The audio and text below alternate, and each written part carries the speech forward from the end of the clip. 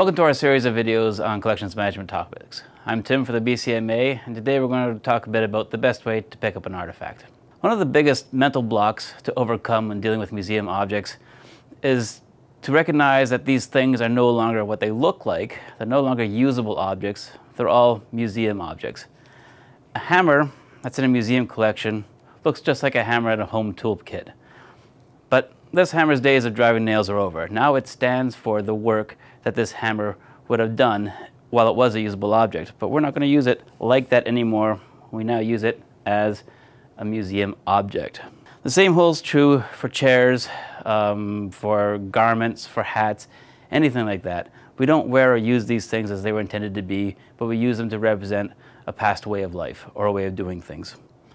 So we need to be able to handle these things to ensure that they're going to be able to continue to serve that role as museum object for a long time to come. Gloves should be worn when handling most artifacts.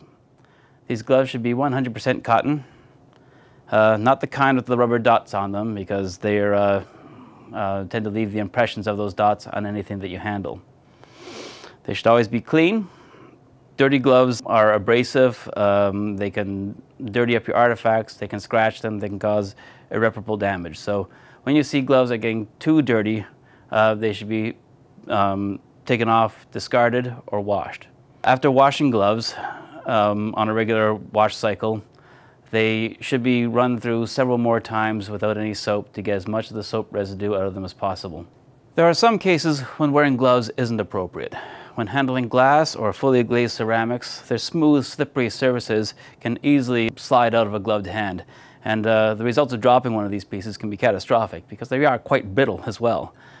Um, the surfaces here are, are, relatively impervious to the oils and the salts that would be on found on hands, and they can be easily washed off if there's any residues that are left behind on the surfaces. Other pieces that aren't appropriate to handle with gloves include basketry, uh, particularly any kind that may have broken fibers uh, that might snag on a glove, and uh, when a hand is pulled away, um, can do further damage to that piece of basketry. When handling uh, paper uh, artifacts and photographs is another time when it may not be the best practice to use gloves. Again, the reduced sense of touch that a person has when wearing gloves means that when picking up a thin paper artifact, uh, one could uh, bend, crumple, fold, or tear it. Uh, and it really is much better to um, pick up with a pair of clean hands rather than uh, trying to manipulate these types of artifacts through gloves. As a rule of thumb, an artifact should never be picked up by its handle. Handles are usually made separately and applied separately to the body of an artifact uh, from the rest of the manufacture of it, and they receive the most uh, wear uh, through the use life of the artifact. Never trust a handle. Instead, an object should be picked up where it's going to be most stable by its base, um, under a swell, but never by the handle that's been provided with. The same holds true for uh, chairs or pieces of furniture uh, where the arms may look like an easy, convenient place to grab hold of them, to pick them up. The arms are usually applied separately and uh, receive a lot of wear through the life of uh, using the chair. The chair should be picked up by its uh, seat by a most structurally sound and stable part of the artifact. Small and delicate objects are best handled as little as possible, and they should always be carried in their most stable position.